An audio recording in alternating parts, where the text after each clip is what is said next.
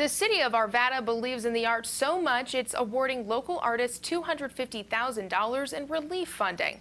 Artists who have lost income because of the pandemic can apply for a one-time grant up to $3,000.